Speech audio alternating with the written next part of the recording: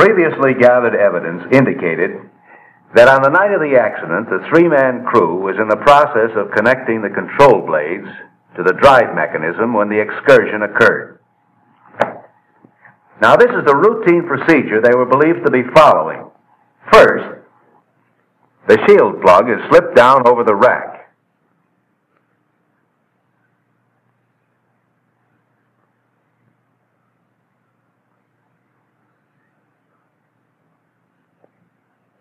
The pinion gear housing and spring housing follow. The pinion gear is inserted in place.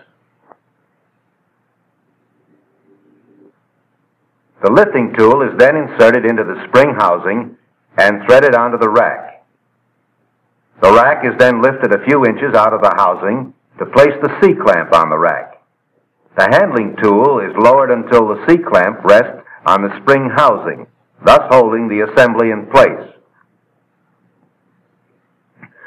The handling tool is removed,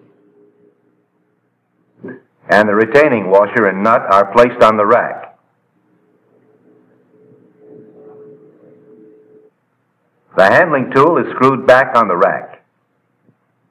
The handling tool and attachments are lifted to remove the C-clamp. It was near this point in assembly that the excursion occurred. Physical evidence shows that the nut, washer, and handling tool were on the central control rod at the time of the accident. The evidence was consistent with the possibility of hand withdrawal of the 85 pound central control rod blade to the 20 inch position. To test empirically that this is possible, a control rod drive mechanism was assembled over a pool of water, and attempts were made to withdraw the rod with reasonable efforts and maximum efforts. Similar tests simulating stuck mechanism conditions were also conducted. All data were recorded on an oscilloscope.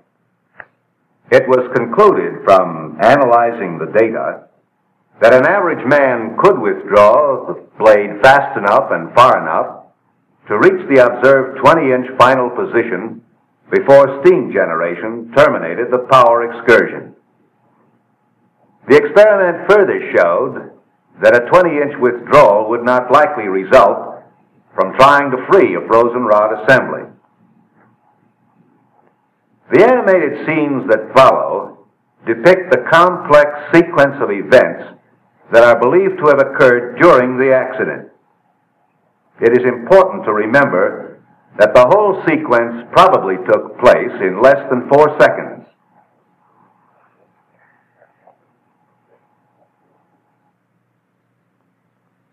Direct cause of the accident clearly appears to have been manual withdrawal of the central control rod blade by one or more of the crew members considerably beyond the limits specified in maintenance procedure.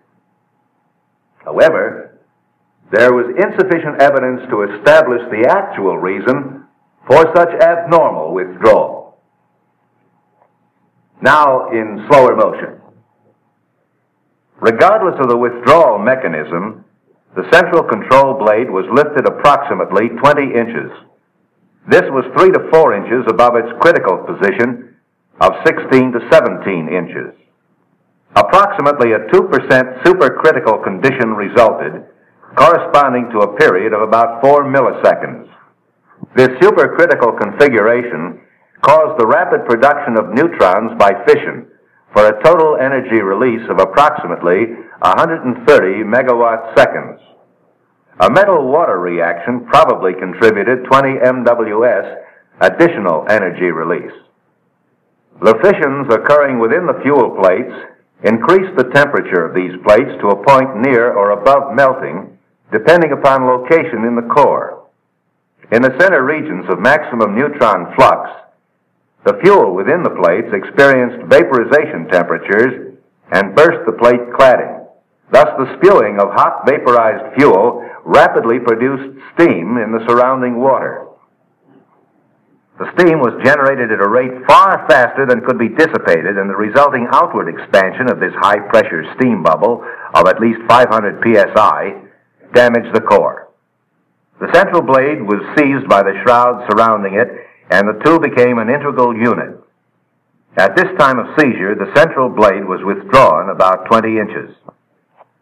The steam being generated pushed upon the water that was above the level of the core, forcing the slug of water upward from the core zone. It was stopped by the vessel head, with a resultant water hammer causing peak pressures of about 10,000 psi. While the water was moving upward, the core structure jumped, reaching a height of 7 inches above its supports when the water hammer hit the head. As the water was decelerated upon striking the vessel head, the forces generated collapsed the shield plug guide tubes. It also deformed the vessel wall and the vessel head nozzles. Additionally, the momentum of this water, as it struck the vessel head, transferred its energy to the reactor vessel, imparting a vertical motion to the shield plugs and to the vessel itself. Some biological shielding material was ejected from its container on the vessel head. The vessel jumped approximately nine feet, sharing the connecting pipes and expelling some of the surrounding thermal insulation. Simultaneously with the vessel lift, the pressure within the vessel expelled the unbolted shield plugs. The ejected shield plugs came to rest in various locations. Number four in the fan duct, number three on the fan floor, number one and number seven in the operating room ceiling. The central plug hit the ceiling and fell back on the vessel head as the vessel dropped back to its original position.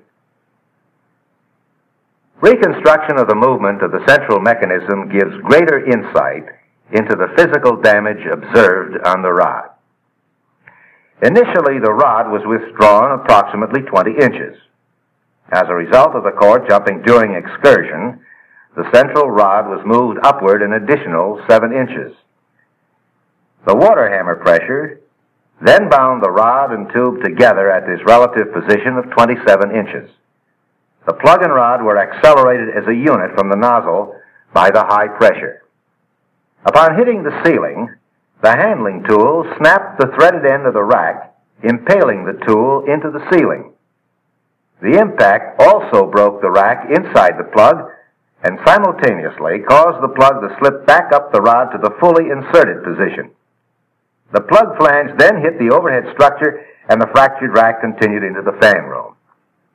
The plug fell back onto the vessel head, snapping the connecting rod after it had been driven upward through the plug about three inches.